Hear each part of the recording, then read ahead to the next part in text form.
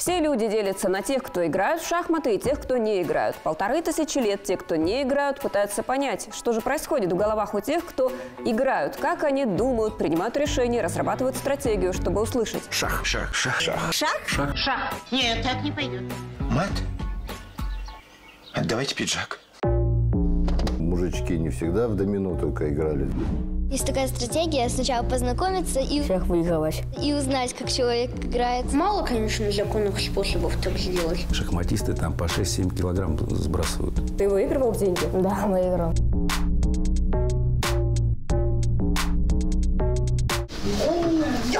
Мы сейчас находимся в самом, получается, новом шахматном клубе, да, Нового Уренгоя, который открылся вот буквально недавно. Абсолютно верно, да. Некоторые родители задают вопрос, ну посмотрите моего ребенка, он годится для шахмат? Как вот сейчас вот посмотрите, вот сейчас полчасика, и определите, он годится для шахмат или нет. Сам по себе вопрос этот не нравится, потому что если есть желание у ребенка, он может все, что угодно. Карпову в детстве запрещали за- заниматься шахматами. Ренату Досаеву запрещали футбол играть, а он стал известным вратарем, да, там. И таких же случаев очень много. Когда я начинал заниматься шахматами в начале 80-х, еще застал то время, когда это все-таки было массовое явление. Мужички не всегда в домино только играли, значит, а э, рядом еще сидели и в шахматы играли.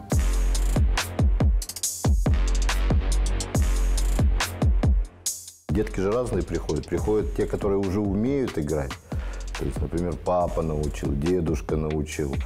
Есть такие детки, которые сами уже методом, как говорится, тыка, проб и ошибок, значит, быстрее научатся, чем их научишь. Меня в классе обыгрывал мой одноклассник, и я попросил своего дедушку учить меня в шахматы.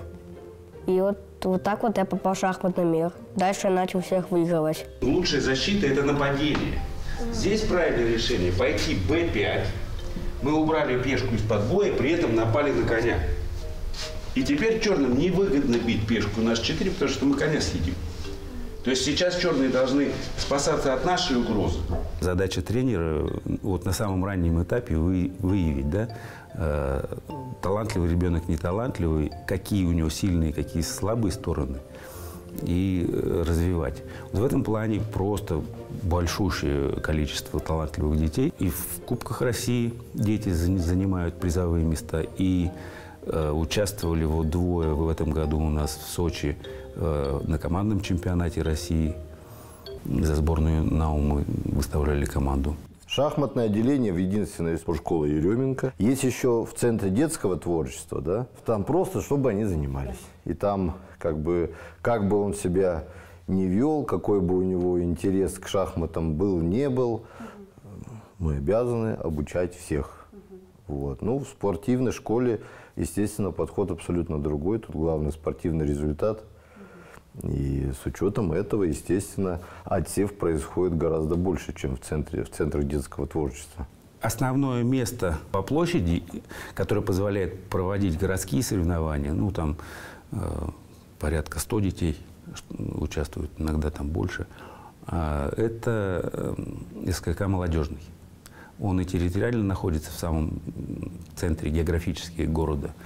Удобная транспортная развязка там. Вторая точка – это Тундровая 1. Здесь особенность то, что он открылся в, в таком микрорайоне, достаточно многочисленном по населению, в котором ну, вот, за все годы э, не было в пешей доступности шахматных э, клубов, шахматных помещений.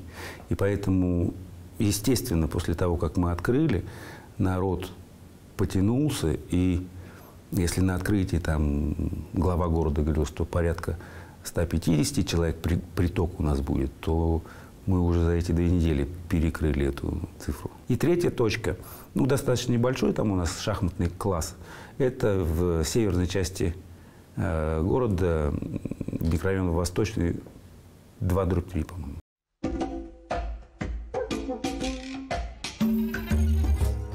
Раньше занимались фигурным катанием, и мне это надоело. И я решила заниматься шахматами как подруга. А здесь нагрузки, получается, интеллектуальные. Да, но тут немножечко побольше нагрузок. Вот, смотрите, чтобы заниматься шахматами, ну, нужно очень долго решать задачи. Вот мы с сестрой делаем 200 и 500 задач в день.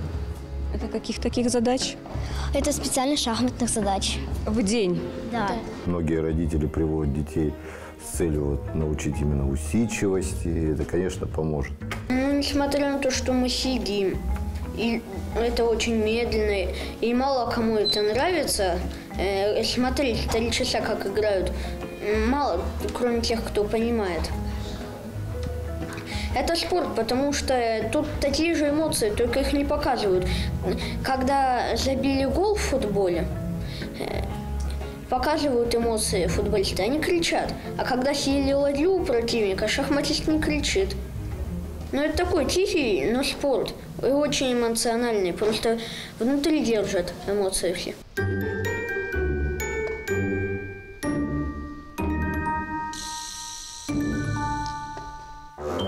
Самая классная игра в мире, наверное. Что так в этой игре привлекает людей? Такая простота, что можно где угодно играть. Тебе ну- нужна всего лишь доска, фигуры и соперник, напарник. Или можно даже самому тренироваться. Человек сидит там 5-6 часов играет, выкладывается полностью эмоционально. Это очень трудно. Когда проходят матчи на звание чемпиона мира, то шахматисты там по 6-7 килограмм сбрасывают.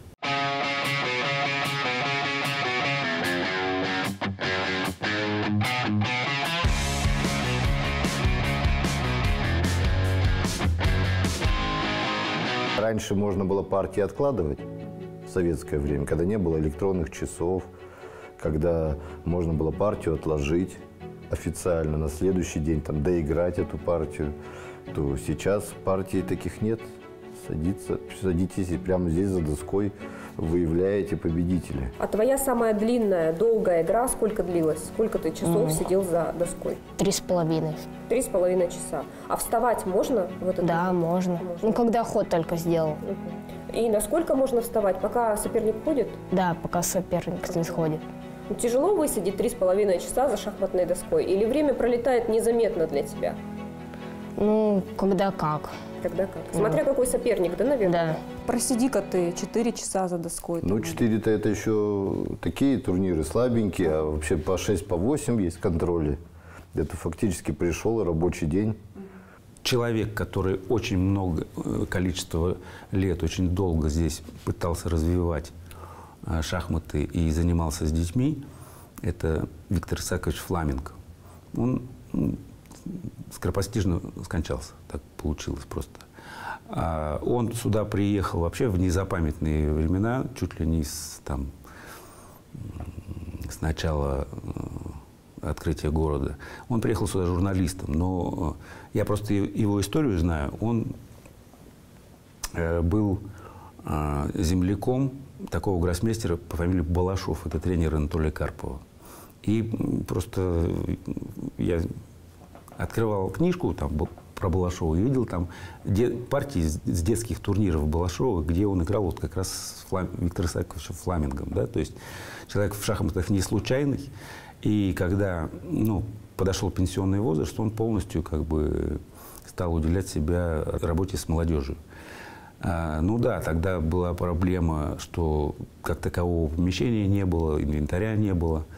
А, и все-таки, ну, может быть, в силу возраста, ну, как можно назвать, так кружковая работа была. То есть если у нас сейчас спортивная школа, где отделение, где у нас вот сейчас три тренера, еще в планах два тренера взять, все на спортивный результат, то тогда, ну да, развивалось, потому что вот до сих пор э, плоды работы Фламинга мы наблюдаем, его ученики участвуют э, в соревнованиях. Вот у нас 23 сентября стартует турнир с нормой международного мастера «Мемориал Фламинга». Это уже восьмой по счету турнир в Брауле. И этот турнир, он задуман для того, чтобы наша э, вот, э, перспективные, ну, уже не школьники, ну, молодые шахматисты могли выполнять баллы международного мастера. Занимаюсь шахматами уже 3-4 года. Ну, пришел я в этот спорт благо- благодаря моему деду. 12 лет уже целых. Я начал играть благодаря своей бабушке, потому что у нее был старый компьютер, который- на котором даже не было интернета, и мы с ней каждый вечер играли в шахматы. У меня сначала тоже не получалось. Я с дедушкой тоже играл. Я буду вам приводить аргументы человека, который никогда не играл в шахматы и не знает, насколько это интересная и увлекательная игра, да? А который видит ее только со стороны. А вы будете, э, значит, э, отвечать мне, почему я не права. В шахматы играют только отличники и зубрилки. Всех остальных шахматы просто не берут. Так, кто будет мне отвечать? Что, что ответите на это утверждение? Давай. Ну, это является явно неправдой, потому что даже вот я, пример, я не являюсь ни отличником, ни зубрила, я учусь на четверке в школе, и мне шахматы даже очень помогают учиться, потому что шахматы развивают логику и умственное мышление. Ну вот смотрите, есть разные виды спорта, да, которые а, показывают по телевизору. У нас что сейчас в топе? У нас, например, фигурное катание. Ну, все знают звезд фигурного катания, девочек, да, значит, не, не все, да, ладно, не все знают, но многие знают. А, там хоккей плюс-минус периодически показывают, биатлон одно время было прям модно, да, вот все такие, а, биатлон, биатлон. А шахматы почему-то не очень часто показывают по телевизору. Это что значит? Это не модно сейчас или как? Не все партии настолько захватывающие и интересные, многие не понимают даже, что происходит за доской. А вот если хоть немножко ты знаешь, что такое шахматы, то тебе будет очень интересно смотреть каждую партию, особенно очень сильных и опытных игроков.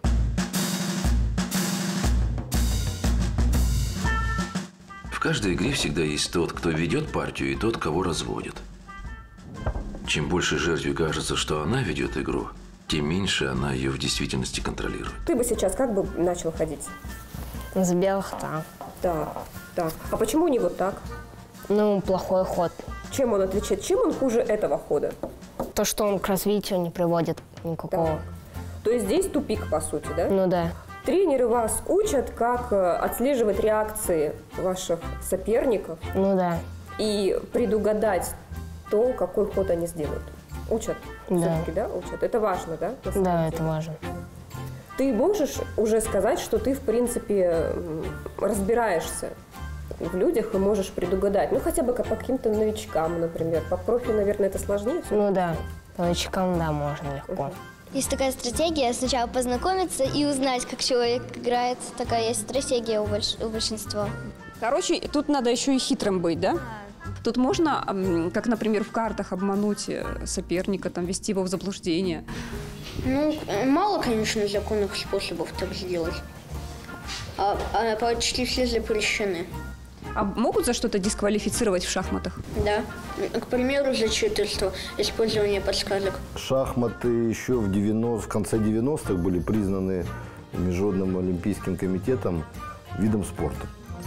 Ну, примерно, например, вот шашки не признаны видом спорта Международным олимпийским комитетом. Шахматы были признаны и очень близки были к тому, чтобы стать олимпийским видом спорта. Особенно вот э, при где-то вот 80-е годы самое было такое близко очень. Ну, самое интересное, что возразили ведущие шахматисты мира против этого. Почему? Потому что начались вопросы по допингу. Самый главный допинг в шахматах – это компьютер. Разница в шахматы с другими видами спорта в том, что человек, употребляющий допинг, он не гарантирует себе победу в соревнованиях. Да? Он увеличивает на какой-то процент потенциал свой. Да? Там. А в шахматах, если во время партии э, воспользоваться помощью компьютера даже один раз, то это может решить исход. Чтобы воспользоваться компьютером, нужно просто одну секунду посмотреть на анализ его, там, несколько ходов, линию запомнить, и все, и партия решена. Как бы. Вот это главная проблема. Что нельзя делать? Что запрещено? Давай про запрещенку поговорим. Отвлекать противника во время партии, громко кричать, иногда даже разговаривать запрещено. Нельзя еще поправлять во время своего хода. Ну, естественно, использовать подсказки компьютера, других игроков. Ну, нельзя пинаться. А такое бывает? Пинаются? Конечно, бывает. А на три король может убежать? Нет, песка.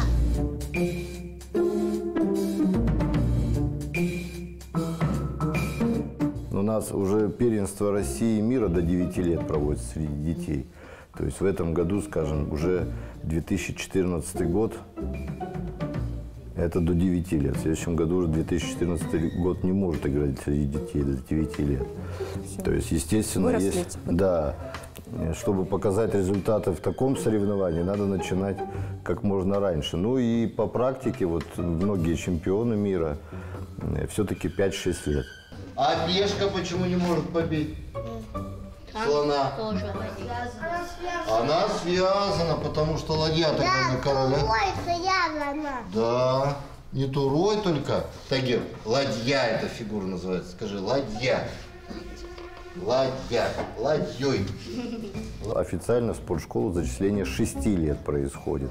В редких случаях с 5 лет, когда уже ребенок какие-то результаты выдающиеся да, показывает, и его зачисляют. Ну вот совсем недавно, буквально на днях, папа привел мальчика, которому еще три года. Сейчас все омолаживается, да. Я, например, шахматами начал заниматься в 83 году, я учился в третьем классе. Это поздновато по нынешним меркам.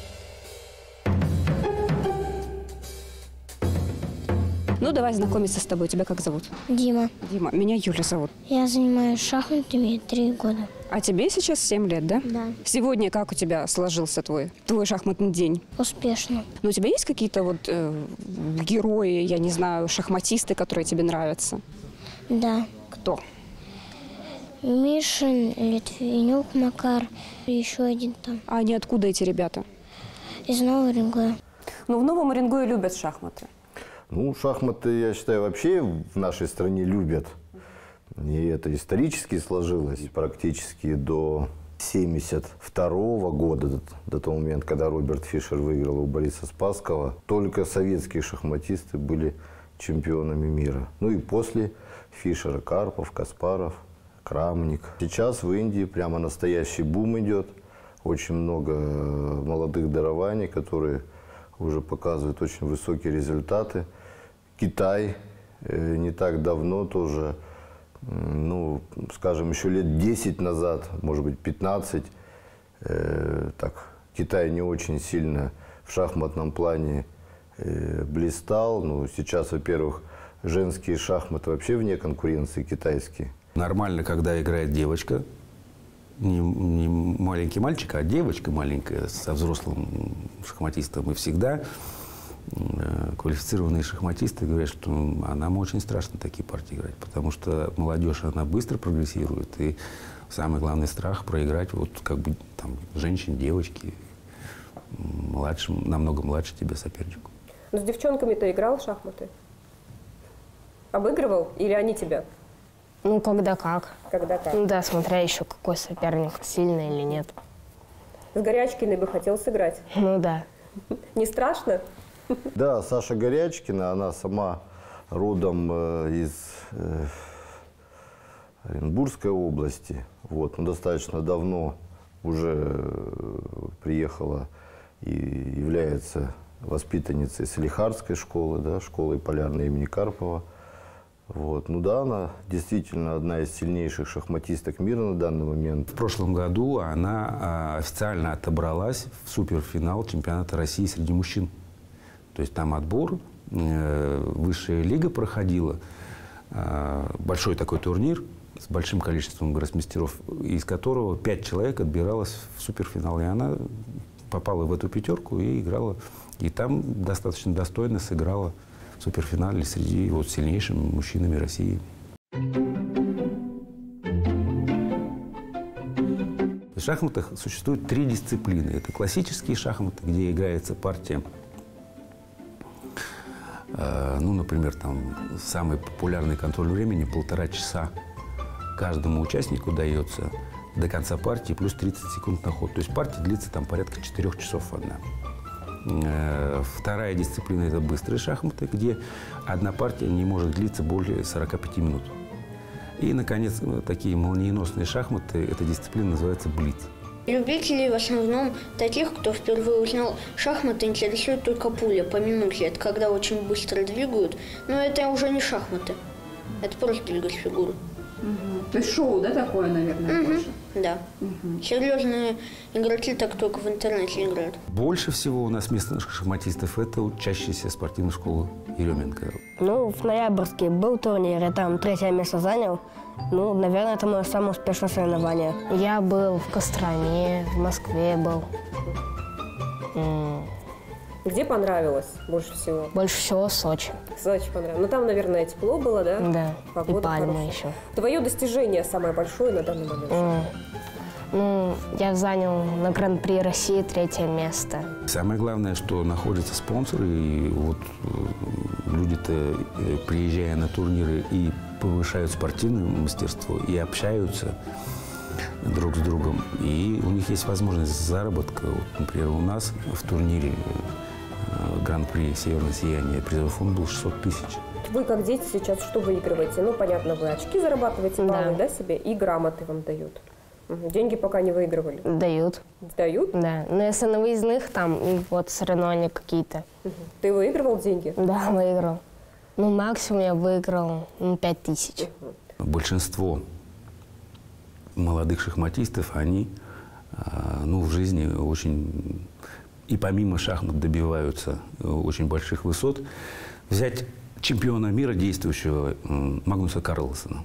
Он вот как бы уже пятикратный чемпион мира, хотя он довольно-таки молод, ему нету еще 35 лет.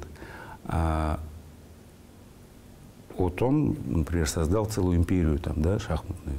То есть у него есть свои порталы, Ческом, там, него есть программы обучающие различные. Есть специальные площадки, куда любой любитель шахмат может зайти и сыграть с любым шахматистом с другого конца планеты. Это сейчас все доступно. Но другое дело, что эти соревнования неофициальные.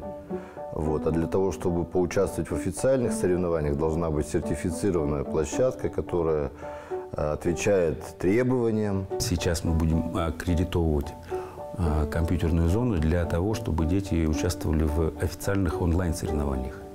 В связи вот с этими эпидемиологическими ситуациями а, шахматы в плюсе оказались. Почему? Потому что а, можно играть в интернете в шахматы. И при соблюдении определенных требований а, дети могут, участвуя в этих соревнованиях, получать разряды и отбираться куда-то в официальные соревнования дальше. Вот в прошлом году даже чемпионат Европы среди юношей проводился в режиме онлайн. Но тогда наши представители ИНАУ ездили в Москву, потому что у нас не было аккредитованной зоны. Вот сейчас мы планируем в ближайшее время аккредитоваться, судьи аккредитовать. И думаю, что перспектива очень большая, очень много соревнований будет. А мы работаем с инвалидами. То есть инвалиды тоже разные есть, ну, опорно-двигательные системы, там глухие.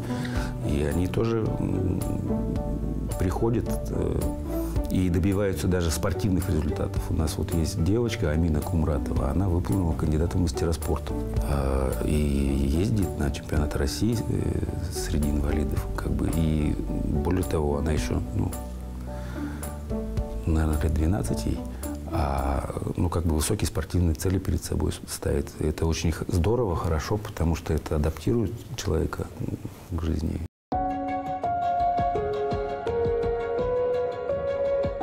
Есть в шахматах какая-то магия. Вот даже сами фигурки, их э, реально приятно в руки брать. Даже вроде бы ты их 10 раз уже и видел, да, и 100, и миллион раз, но при этом каждый раз все равно что-то в них такое есть, что... Ну да, и фигурки меняются тоже со временем. Они же, я имею в виду, сами-то фигуры названия не меняются. Внешний вид их, да? Внешний вид, да, появляются вот, например, вот это вот одни из современных, да, уже шахмат, которые практически, ну, э, используются сейчас э, на многих турнирах, так называемый стаунтон, да. Это дерево же, да? Это дерево, да. То есть, ну, часто используются и пластиковые шахматы. Вот. Ну, да, как в моем детстве были так называемые гроссмейстерские шахматы. Сейчас я их нигде не а вижу. это как, гроссмейстер? Ну, просто вот они так называются. Мгм. Значит, у них э, они были немножко другие. А, а удобнее играть все-таки на каких досках? На гибких или на таких, которые вот так раскладываются, на деревянных? На электронных. На электронных. Ну-ка, Да. скажи-ка, что, что за электронная доска такая? Ну, это такая дорогая доска. Ну, она транслирует партии. Что это значит? Это значит, что м, делая ход на доске, значит, э, весь мир может по ссылке увидеть вообще партию. То есть ход делается, и он сразу же через передается э, на определенный сайт, да. Недавно проходил турнир, да, в Новом Уренгое уже второй год подряд, всероссийский турнир, да, по быстрым шахматам. Там первые шесть досок как раз были электронные. А что за атомные шахматы?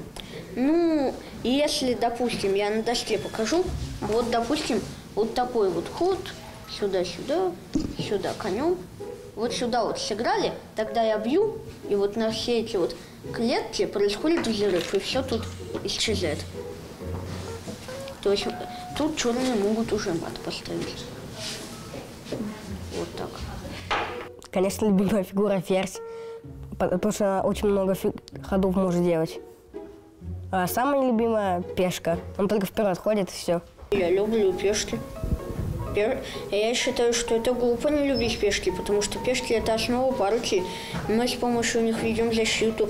В конце в эндшпиле они, благодаря на них держится вся игра. Я когда готовилась к программе, узнала, что у вас очень много всяких словечек интересных вы используете. Мгм, и, да, и это на самом деле тоже так интересно, и многие из них используются в обычной жизни, да, и а мы не знаем, что они к шахматам имеют отношение. Голый король.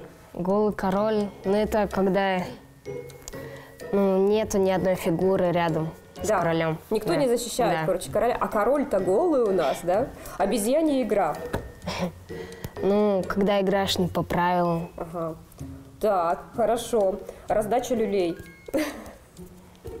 Это победа с подавляющим преимуществом. Да. Вот. Так, туристы. Вот я турист сейчас по сравнению с тобой. Подсказка тебе. Я турист.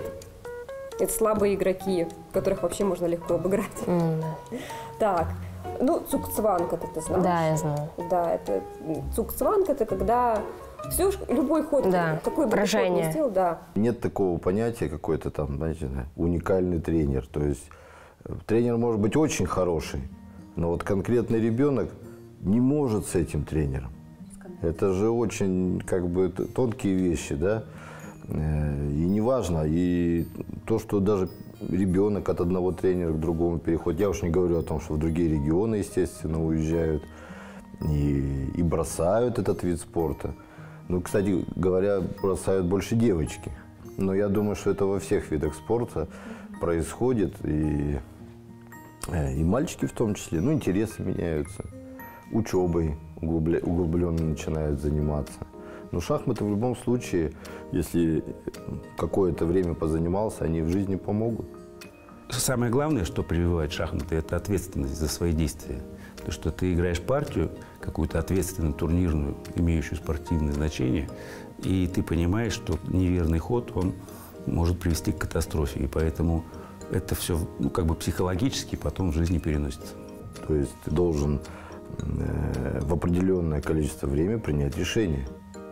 А в жизни это Частично. происходит очень часто, да, что мы должны принять решение здесь и сейчас.